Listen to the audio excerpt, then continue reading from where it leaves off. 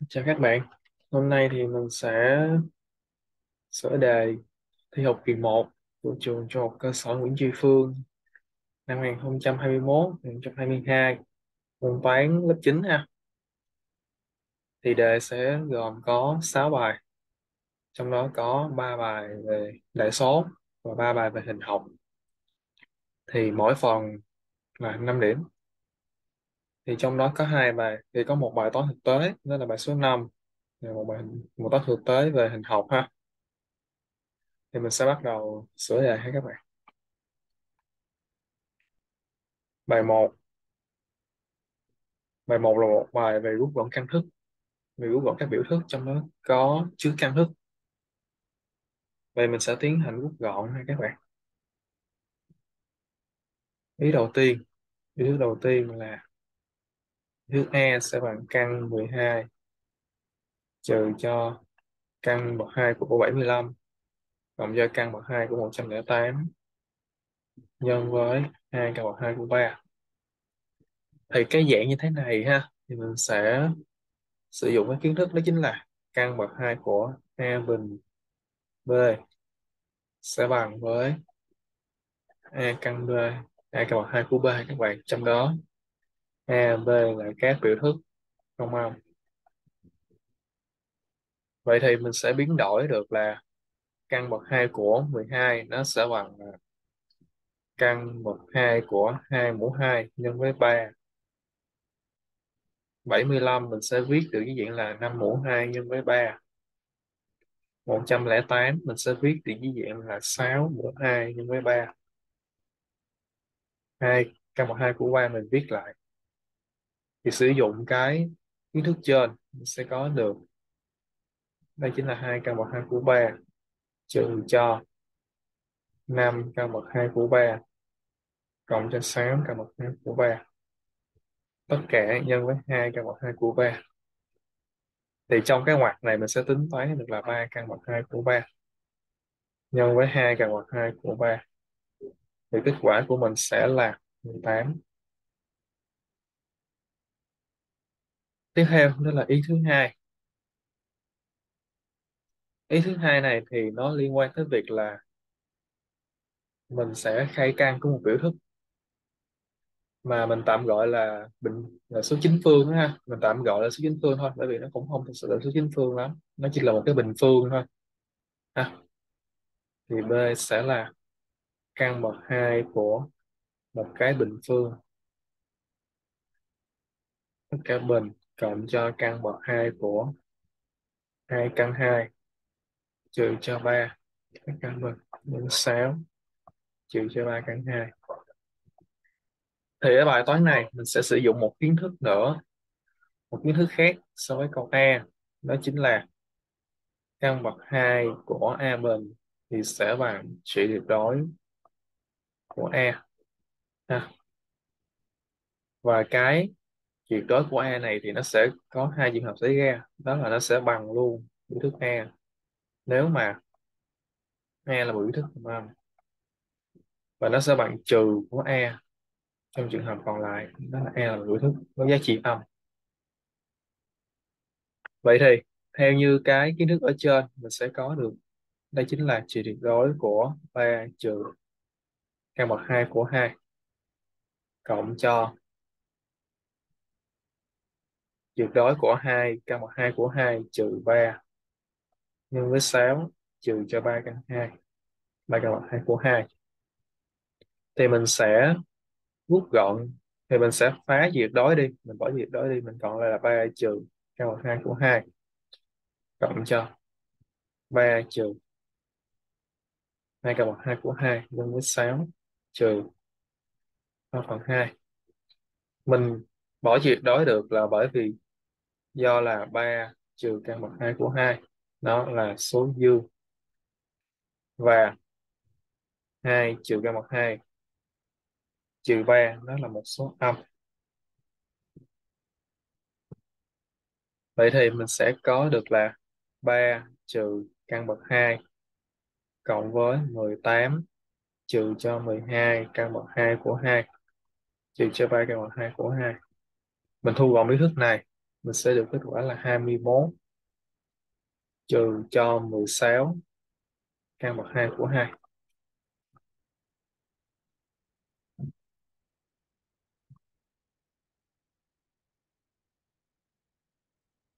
Bài 1 là một bài chỉ kiểm tra về kiến thức của căn thức bậc 2.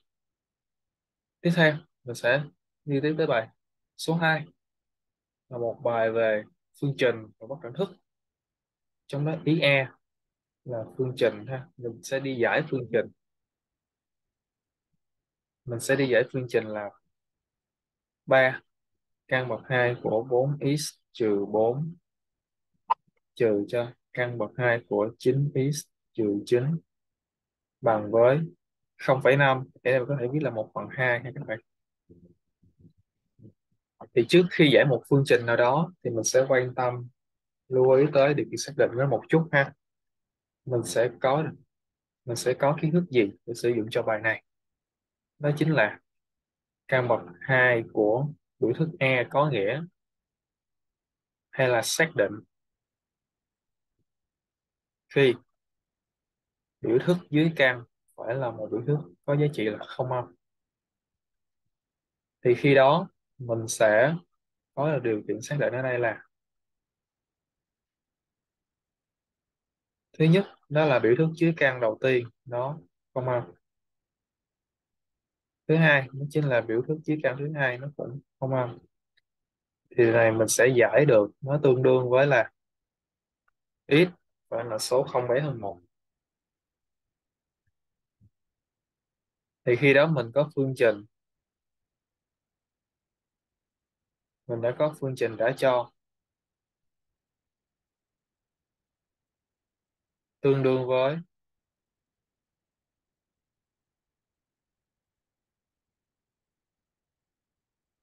ba căn bậc 2 của 4x trừ 1 trừ cho căn bậc 2 của 9x trừ 1 bằng 1 phần 2. Thì mình sử dụng công thức ở trên ở bài 1 mình sẽ lấy số 4 ra ngoài thì mình sẽ tương đương với là 6 căn bậc 2 của x trừ 1 trừ cho 3 căn bậc 2 của x trừ 1 bằng với 1 phần 2. Thì này tương đương với là 3 căn bậc 2 của x trừ 1 sẽ bằng với 1 phần 2. Hay là căn bậc 2 của x trừ 1 sẽ bằng với 1 phần 6. Mình bình phương hai vế là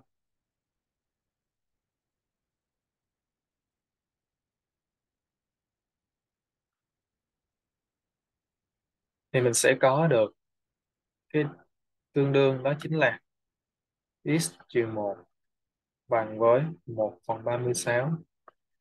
Mình có được cái tương đương này, đó chính là từ điều kiện xác định ha các bạn.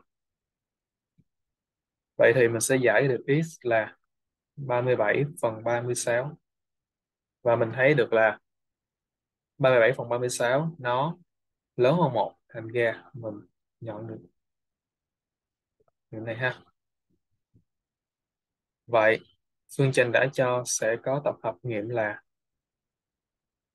nó chỉ có một nghiệm thôi ha là 37 phần 36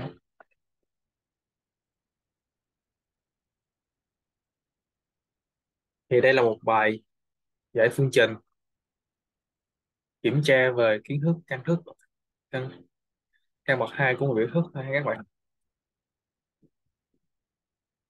Tiếp theo, ý thứ hai, đó là một ý về bất đẳng thức. Với điều kiện là x là số thực dương, thì khi đó ta có được là p sẽ bằng với một trừ 4 căn bậc 2 của x, cộng 3x tất cả chia x. Thì mình sẽ tách ra là 1 phần x trừ cho 4 phần căn bậc 2 của x cộng với 3 mình sẽ thực hiện phương pháp nhóm bình phương các bạn. Mình sẽ nhóm bình phương nó. Thì các bạn lưu ý là 1 phần x nó sẽ bằng 1 phần căn bậc 2 của x tất cả bình.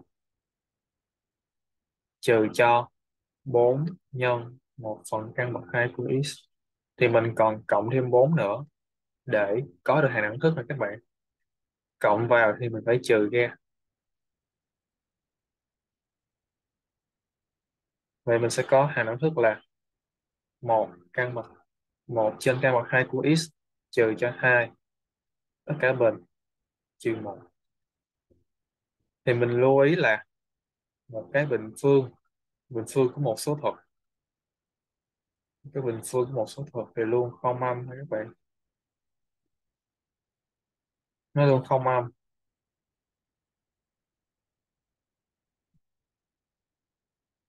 Với mọi với mọi cái số trong bình phương là một số thuật ha. Thì ở đây cụ thể hơn theo điều kiện của x thì đề bài là x dương. Các bạn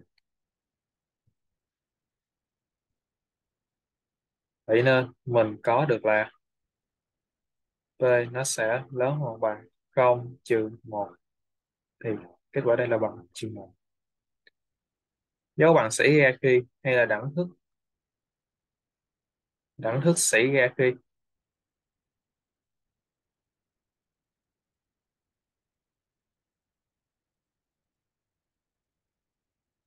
đẳng thức xảy ra khi biểu thức 1 chia cho căn bậc 2 của x trừ 2 có giá trị là 0 điều này tương đương với là x bằng 1 phần 4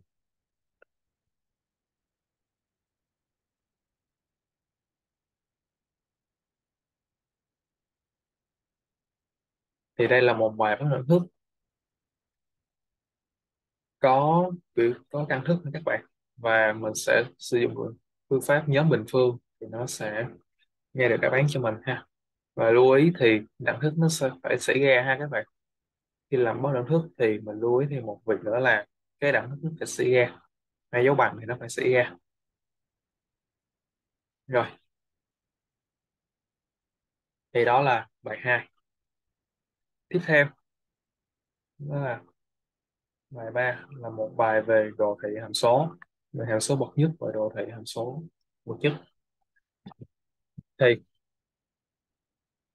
câu A.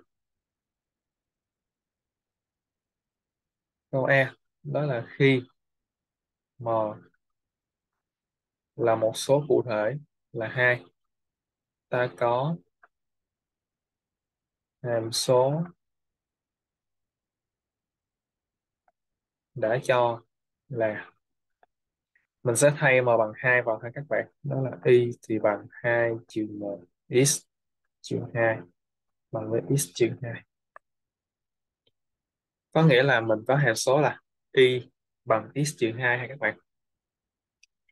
Thì câu hỏi đầu tiên, đó chính là mình sẽ vẽ đồ thị của hàm số này trong trường hợp này, trong trường hợp mà bằng 2 ha. Thì để muốn vẽ được đồ thị hàm số của một hàm số bậc nhất mình sẽ chọn hai điểm nằm trên. Đường thẳng đó ha. Mình sẽ chọn hai điểm nằm trên cái đồ thị của hàm số đó. Thì mình sẽ làm bảng giá trị ha các bạn. Mình sẽ làm một bảng giá trị. Thì đây sẽ là x ở đây là y bằng x trừ 2 mình sẽ chọn hai giá trị x bất kỳ ha. Thì ở đây mình sẽ chọn là 0 1 ha thì khi x bằng 0 mình sẽ có giá trị tương ứng của y sẽ là 0 trừ 2 thì bằng 0 thì bằng trừ 2 ha các bạn? Khi x có giá trị là 1 thì mình có y bằng 1 trừ 2 có nghĩa là y bằng trừ 1 các bạn. Có nghĩa là đồ thị hàm số đã cho đi qua hai điểm là 0 trừ 2 và 1 trừ 1 thì khi đó mình sẽ vẽ được hàm số trên hệ trục đoạn bằng cách nối hai điểm thành một đường thẳng ha các bạn. Mình sẽ xác định hai điểm này trên hệ trục tọa độ và sau đó mình sẽ nối lại thì nó sẽ ra đường thẳng, mình cần vẽ ha các bạn. Và việc này thì khá đơn giản, các bạn có thể tự làm được ha. Câu B. Tìm giá trị của m để đồ thị hàm số trên các đường thẳng này. Các đường thẳng y bằng 3x trừ 1 là một điểm nó có hoành độ bằng 1 có nghĩa là nếu mình gọi, nếu mình gọi điểm m cái tọa độ là x0 y0 là giao điểm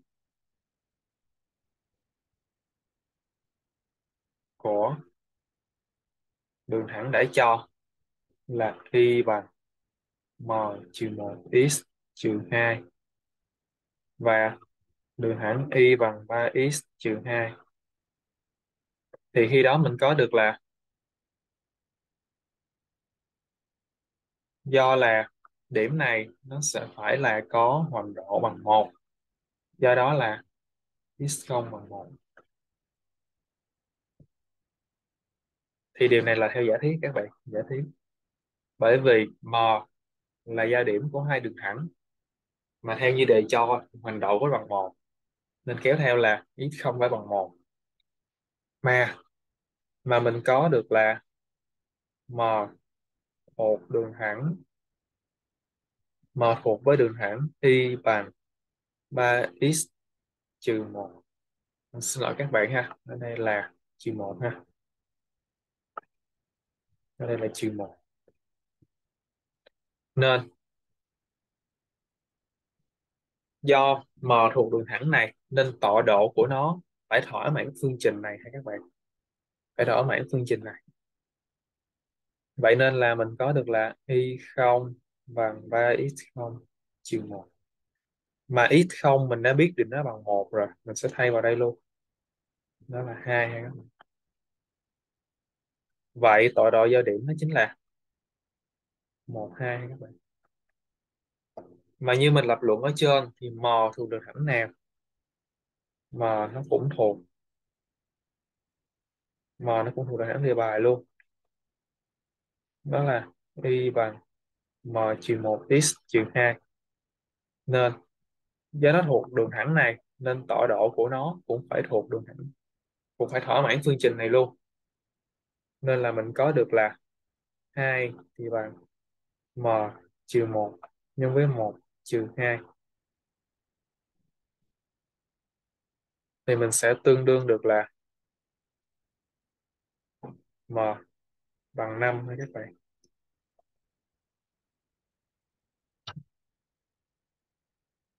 Mình sẽ tương đương được m bằng 5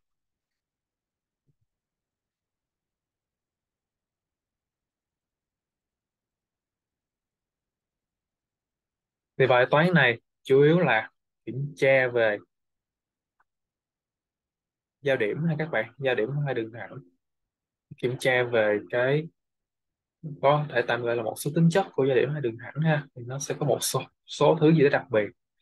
Thì mình sẽ có một hướng làm, đó chính là mình sẽ gọi điểm tổng quát ra ha các bạn. Đó là mình gọi điểm tổng quát là x không y không. Và sau đó mình sẽ cố gắng làm theo x không y không các bạn. Mình sẽ tìm được đáp án của đề bài.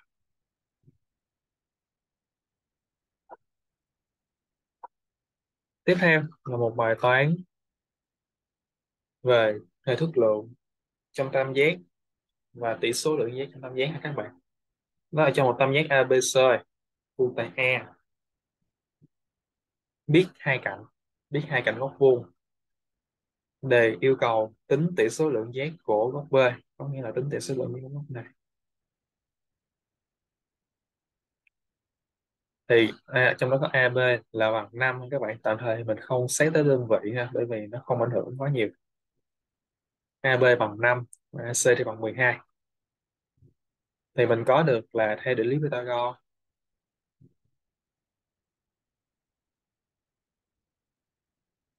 Ta có ha.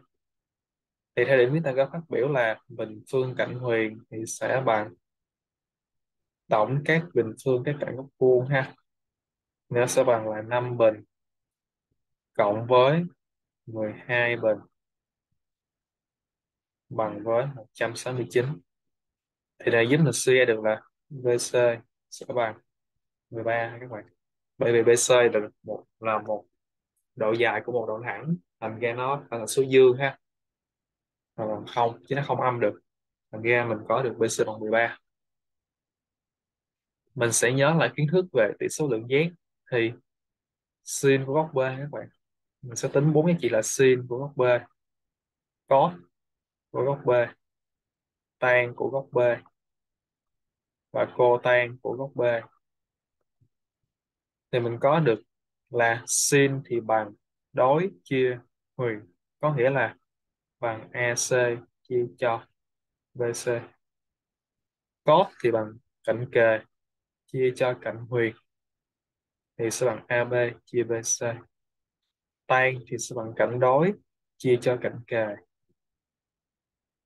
Cô tan thì ngược lại là cạnh kề, chia cho cạnh đối. Thì từ đây mình sẽ thế số cho các bạn. Mình thế số vào ha. Thì mình sẽ có được cái đáp án là 12 trên 13 ở đây sẽ là 5 trên 13 đây sẽ là 12 trên 5 đây sẽ là 5 trên 12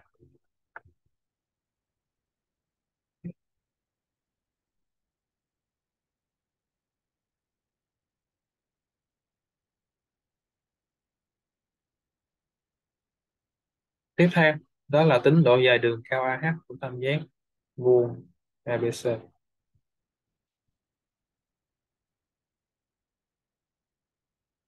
thì theo hệ thức lượng ha.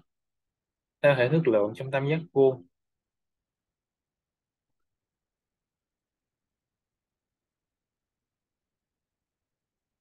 theo hệ thức lượng trong tam giác vuông mình có được một đẳng thức là AH nhân với BC thì bằng AB nhân với AC tích của đường cao nhân với, đường cao ứng với cạnh huyền nhân với cạnh huyền thì nó sẽ bằng tích của hai cạnh góc vuông. Thì thật ra nó chính là bằng hai lần diện tích tam giác thôi ha các bạn. Thì từ cái đẳng thức này, mình sẽ suy ra được là AH sẽ bằng AB nhân AC chia cho BC hai các bạn. Mình thay số vào thôi, thì nó sẽ là 5 nhân 12 chia 13 thì nó sẽ bằng 60 chia 13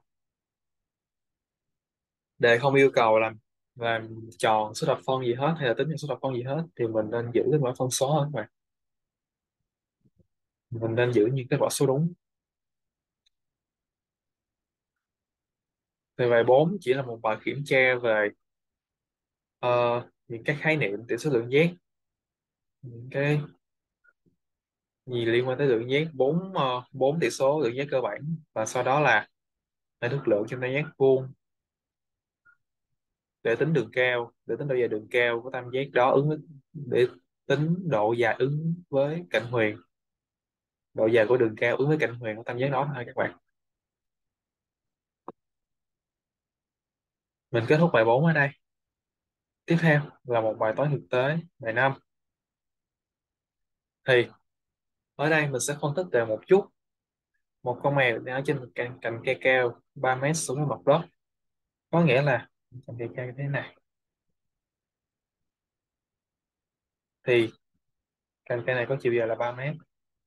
Thì có một con mèo trên này.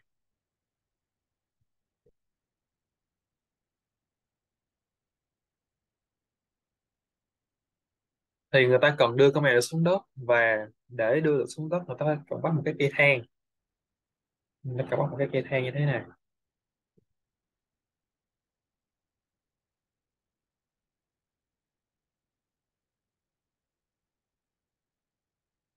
Thì cái thang này có phải đảm bảo điều kiện gì không? Thì câu trả lời là nó phải đảm bảo cái góc an toàn. Thì góc an toàn là bao nhiêu? Là nó phải tạo với mặt đất các bạn? Nó phải tạo với mặt đất. Một góc là 65 độ. Thì khi đó người ta hỏi rằng là cái thang này phải dài bao nhiêu? Cái thang này này các bạn, thì nó phải dài bao nhiêu? Thì mình thấy được là nếu mình coi như là cái gốc của cái cây. Cái gốc cái thực ra nói cái gốc của cái cây cũng không hẳn là đúng ha tại vì đang trên cành cây với cái cây. Nhưng mà mình cũng có thể tạm coi như là cái hình chiếu vuông góc của mèo xuống mặt đất đi ha. Thì nó là e, mèo đang đứng ở vị trí B. Và cái chân còn lại cậu thay sẽ sẽ đặt ở trên mặt đất tại vị trí C. Thì khi đó mình sẽ thấy được là tam giác ABC là một tam giác vuông tại A. Và có cạnh góc vuông AB là 3 mét. Và góc C có số đo là 65 độ. Vậy thì, mình cần tính chiều dài cái thang, có nghĩa là mình cần phải tính độ dài của cạnh BC thì mình sẽ thấy được ngay rằng có liên quan tới góc đó là một gợi ý để mình sử dụng tỷ số lượng giác nha các bạn. Thì mình sử dụng tỷ số lượng giác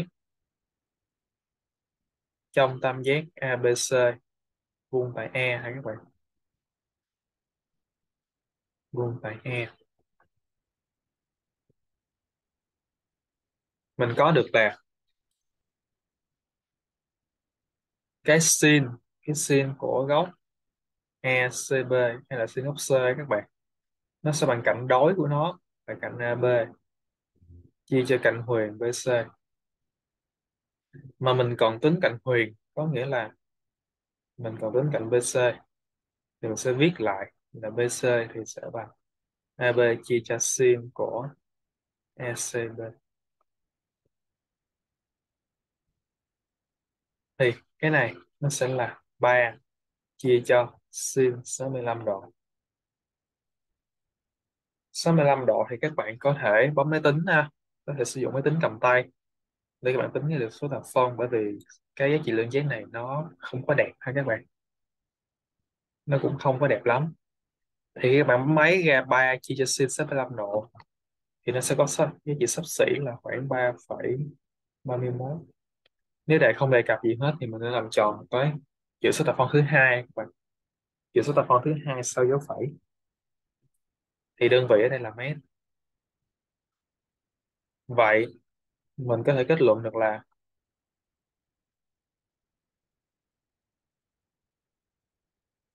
cái độ dài cái thang nó sẽ dài khoảng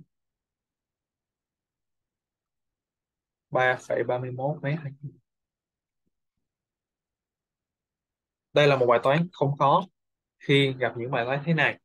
Các bạn có thể vẽ hình ra mô phỏng phần hình vẽ sẽ giúp các bạn dễ có những cái hướng đi đúng đắn hơn trong bài toán ha. Và cuối cùng là bài hình học đó các bạn. Bài hình học. Thì đây là một bài. Cũng như nhiều đề thi khác thì câu A và câu B là những câu tương đối là dễ. Còn câu C mình sẽ cần thêm một số yếu tố khác thì mình sẽ đi chi tiết như thế nào các bạn. Đầu tiên, mình sẽ thử đọc đề thử, đó là đề cho một cái đường tròn tâm O có đường kính là AB có nghĩa là O là trung điểm AB đúng không các bạn? O sẽ là trung điểm của đoạn đánh AB yêu cầu vẽ chia khuôn CD nó vuông góc với OA và đi qua trung điểm của OA thì trung điểm của OA là Y các bạn. Đi qua trung điểm Y của OA tính gì cung CD thì là yêu cầu là tính dây cung CD mình thấy được là mình phải liên hệ cái gì đó liên quan tới bán kính nha các bạn. Bởi vì để cho AB là 20 cm AB là đường kính, nhưng thiệt ra thì nó cũng chỉ bằng hai là bán kính thôi. Thành ra mình sẽ suy nghĩ là CD mình sẽ liên hệ thế nào đó tới đường kính. Thì cụ thể ở đây mình có một cái nhận xét nhỏ nhỏ đó chính là ACOD là hình là hình thoi các bạn là hình thoi. Bởi vì sao? Bởi vì sao nó là hình thoi? Bởi vì mình có. Mình thấy được rằng là do do là OE vuông với CD nên, Y là trung điểm của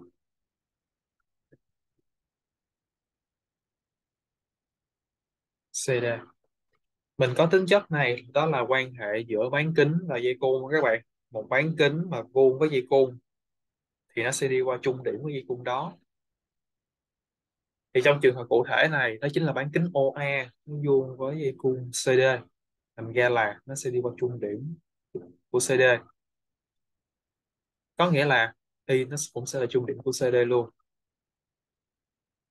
Mà mà mình có là y là trung điểm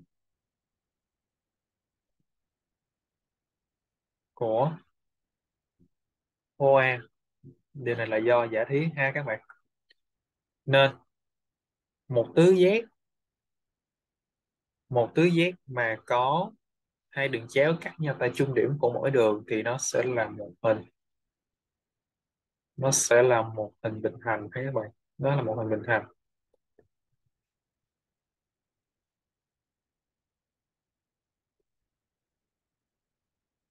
Ngoài ra thì mình còn thêm một điều kiện nữa, đó là kết hợp với giả thiết OA vuông với CD một tứ giác, một hình bình hành có hai đường chéo vuông góc với nhau thì mình sẽ suy ra được là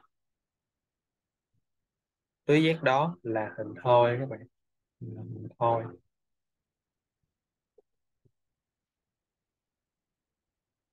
Là hình thoi. Vậy mình còn kết quả này để làm gì? Mình cần kết quả hình thoi để làm gì? Để mình suy ra được là cạnh AC nó bằng với cạnh CO và nó bằng bán kính thì nó sẽ bằng là AB chia 2 là bằng 10 đơn vị là cm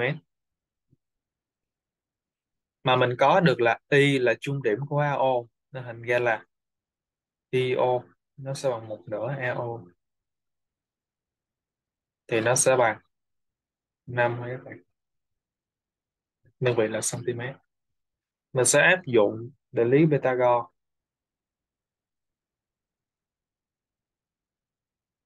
Mình sẽ áp dụng định lý Pythagore vào trong tam giác vuông COI vuông tại Y người ta có được là CO bình thì bằng CI bình trừ IO bình ở cộng IO bình chứ. Xin lỗi các bạn. Thì từ đây mình sẽ suy ra được là CI bình CI hay các bạn. Nó sẽ bằng căn bậc 2 của CO bình trừ IO bình C bình sẽ bằng CO bình trừ IO bình thì mình thay các giá trị số mình vừa tính được vào thì nó sẽ là căn bậc 2 của 10 mũ 2 trừ cho 5 mũ 2 thì kết quả ở đây mình sẽ có được đó chính là 5 căn bậc 2 của 3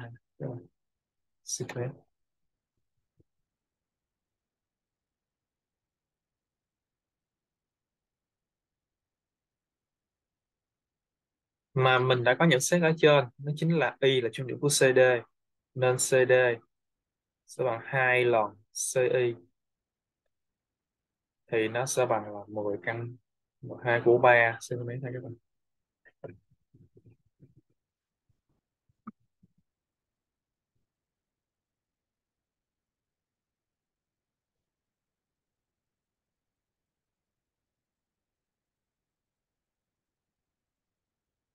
mình còn nhiều cách khác nhau để giải quyết bài toán này. Ví dụ như từ tâm, từ cái từ cái kết quả ACOD là một hình thôi, thì mình sẽ dễ dàng suy ra được là ACO là một hình tam giác đều, một tam giác đều. Thì khi đó mình sẽ có những cái góc 40 ở ờ, những góc 60 độ, những góc 30 độ. Thì những cái góc đặc biệt đẹp đẽ đó, nó sẽ giúp mình có được cái kết quả đó chính là lượng giác ha các bạn. Mình sẽ tính cạnh dựa trên lượng giác ha các bạn. Tỷ số lượng giác tiếp theo, câu B.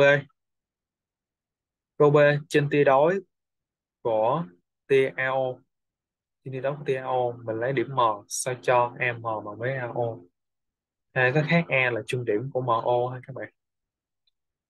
Câu hỏi là MC là tiếp tuyến của đường tròn O thì mình nhớ là kiến thức một chút. Mình muốn chứng minh là một đường thẳng, nó là tiếp tuyến của một đường tròn, thì mình sẽ chứng minh nó vuông với bán, thì nó sẽ cắt được người ta một điểm. Và bán kính cho điểm đó, vuông góc với đường thẳng nhất mình. Hay nói cách khác, mình còn chứng minh, mình còn chứng minh là OC vuông với MC mình chỉ cần chứng minh điều này mình sẽ suy ra được là MC là tiếp tuyến các bạn. Vậy chứng minh như thế nào? Mình có được kết quả ở câu trên, đó chính là ta có OC bằng với OA đây là kết quả từ câu A các bạn? Kết quả từ câu A. Kết quả từ câu A đó chính là EC thì bằng CO các bạn? EC thì bằng CO mà CO thì nó là bán kính và OA cũng là bán kính luôn. Nghe cái này nó cũng sẽ bằng OA luôn các bạn. Vậy mình sẽ có được kết quả là OC thì bằng OA mà mình có OE thì bằng M.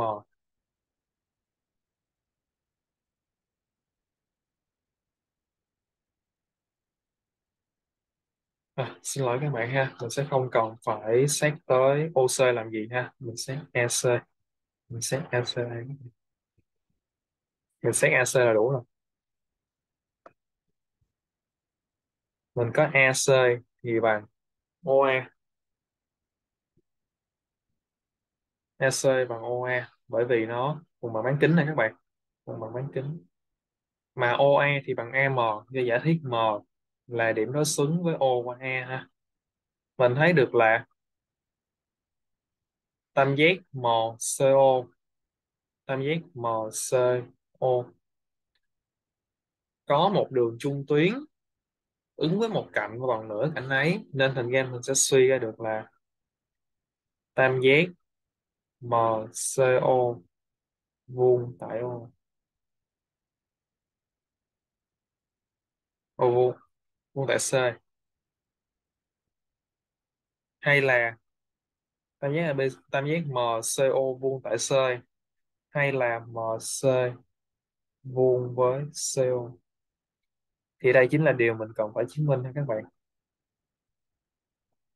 Thì đây thì đây là điều mà mình cần phải chứng minh. Vậy MC là tiếp tuyến các bạn, là tiếp tuyến của đường tròn là tiếp tuyến của đường tròn tâm O, bán kính OA các bạn.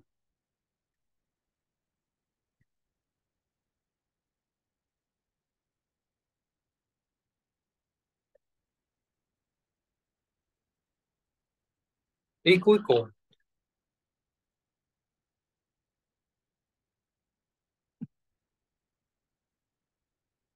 Ý cuối cùng là, qua điểm Y, mình sẽ vẽ một cái dây EF song song với MC mình sẽ vẽ một cái dây song song với đường thẳng MC và đường thẳng này,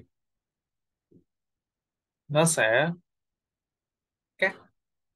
cái uh, đường thẳng chiếu dây cung này nó sẽ cắt đường tròn tại hai điểm là E với F hay các bạn hay nói cách khác là EF là dây cung của đường tròn tam môn thì cái dây cung này EF người ta không có nói nó vị trí thế nào thì mình có thể giả sử nó như hình vẽ hay các bạn. Còn trường hợp ngược lại trường hợp FE trường hợp thì tạm gọi là F với E ha. Trường hợp như trên hình vẽ đây là E với F thì trường hợp còn lại là F với E thì mình làm tương tự thôi các bạn nó không khác gì đâu nó là một thôi thì đây mình chỉ xét cái trường hợp là E với s như thế này thôi, là đủ rồi. Vậy thì, rồi. Rồi, sau đó thì mình gọi H với K là cái chân đường vuông góc kể từ E và B đến cái dây cung này. Câu hỏi là chứng minh EH phải bằng FK thì mình sẽ giải quyết như thế nào?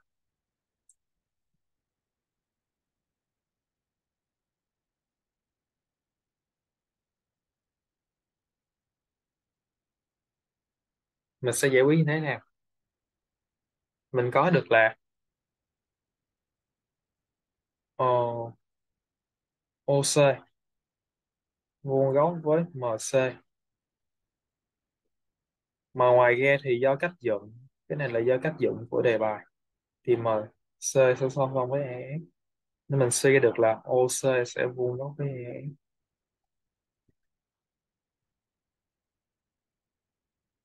nếu mà mình gọi T là giao điểm của bán kính OC và dây cung EF thì mình có được do quan hệ của bán kính và dây cung nếu dây cung vuông với bán kính, thì bán kính đó sẽ đi qua trung điểm của dây cung đó các bạn. Hay nói cách khác là T là trung điểm. T sẽ là trung điểm của EF nếu mình gọi T là gia điểm của OC và EF thì mình có được T sẽ là trung điểm của EF theo câu A, theo câu A các bạn, thì mình có được là OC OC song với AD các bạn sẽ đồ được OC song song với AD ta có? OC song song với AD điều này là do ECOD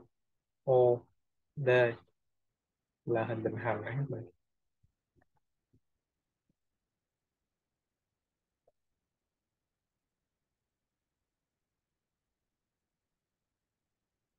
thì, từ cái việc song song này mình sẽ suy ra được theo quan hệ vuông góc song song thì mình sẽ có được là điểm H. Điểm H nó sẽ nằm trên đường thẳng AD hay nói cách khác là AHD thẳng hàng. Thẳng hàng.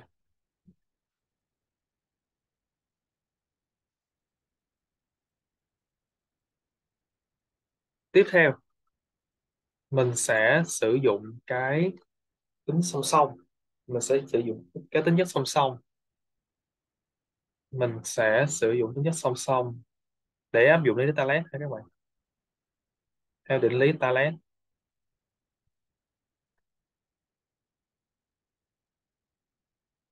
ta có được.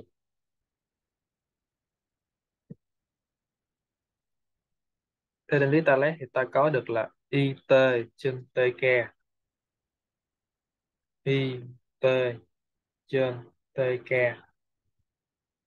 sẽ bằng với IO trên OB.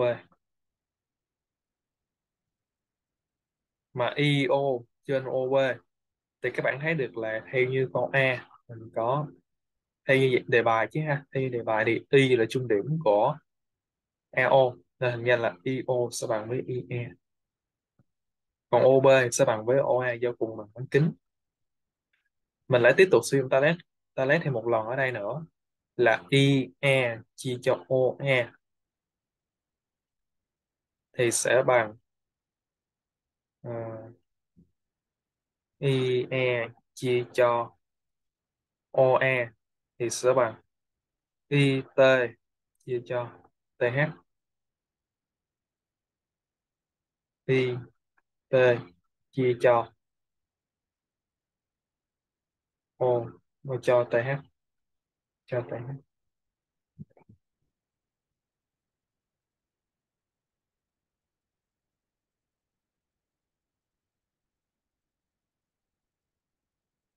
giải thích giải thích rõ hơn chỗ này một chút. Thì ở đây, cái dấu bằng đầu tiên cái dấu bằng đầu tiên này là mình xét trong tam giác y, b, k. Có ot song song với bk cái bằng thứ hai này thì nó chỉ là tính chất trung điểm thôi các bạn trung điểm và bán kính thôi. Cái dấu bằng thứ ba này thì nó chính là tam giác, y, t, o. Có. Tam giác ITO có. EH song song với TO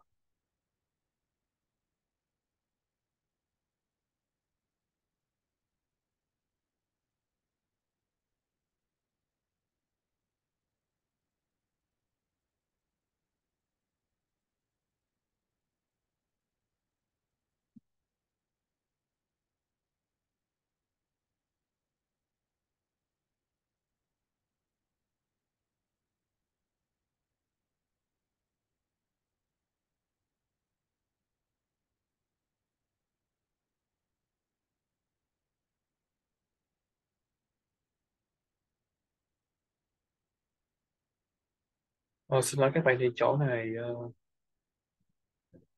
cái chỗ tử này thì mình không cần phải viết là IE mình giữ nguyên IO đi. Mình giữ nguyên IO thì nó sẽ giống Talet hơn Ừ.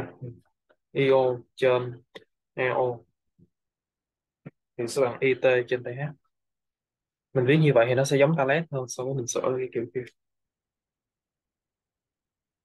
Thì từ đây mình sẽ suy ra được là TK bằng với TH TK thì bằng với TH mà TE thì bằng TF do chứng minh trên, T là trung điểm của EF nên suy ra TE trừ TH sẽ bằng TF trừ cho TK mà TE trừ TH thì nó chính là EH còn TF trừ TK thì nó chính là FK thì tới đây, mình đã hoàn tất chứng minh các bạn.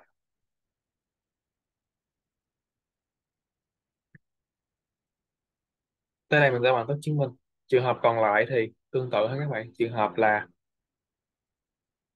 F nằm trên cung nhỏ AD nằm trên cung nhỏ của cung nằm trên cung nhỏ cung AD và E là điểm còn lại, thì mình cũng sẽ làm tương tự như thế này, nó không khác gì đâu ha các bạn.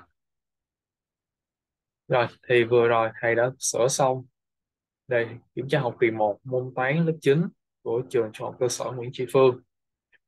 Thì đây cũng chưa hẳn là một bài giải hoàn chỉnh, nó sẽ đôi chỗ là chủ yếu là cho các bạn những cái ý tưởng để làm một bài toán, những cái cách tiếp cận, những cách suy nghĩ một bài toán và các bạn sẽ có thể bổ sung vào thêm để có được những cái lời giải hoàn, hoàn chỉnh của mình trong bài thi chính thức.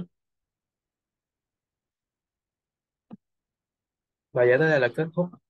Chúc các bạn có chúc các bạn học được nhiều điều để có ích trong bài thi trong bài thi chính thức của các bạn.